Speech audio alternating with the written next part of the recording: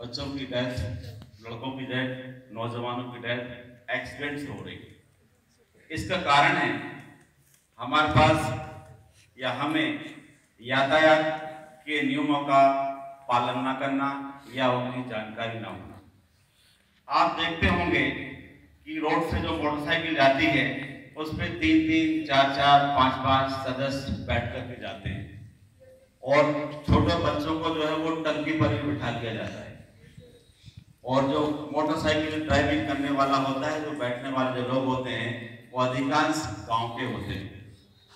तो यहाँ पर उपस्थित बच्चों के माध्यम से छात्र छात्राओं के माध्यम से हम ये संदेश देना चाहते हैं कि कोई भी आपके परिवार का सदस्य, आपके परिवार का व्यक्ति अपने घर से, गाँव से, शहर की ओर या कहीं भी मोटरसाइकिल से निकलता है तो वो देख ले कि पहली बात तो उसके पास ड्राइविंग लाइसेंस है या नहीं?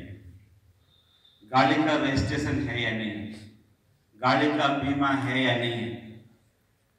गाड़ी का उसने हेलमेट उसके पास है या नहीं? गाड़ी में हमको जाना है तो हमको दो सवारी बैठकर ही जाना है, तीसरे व्यक्ति को बैठ करके नहीं जाना है। ये जागरूकता आपको अपने घर से इसकी शुरुआत करना है। तब ये एक्सीडेंट को हम रोकने में कामयाब हो सकते हैं। सभी लोग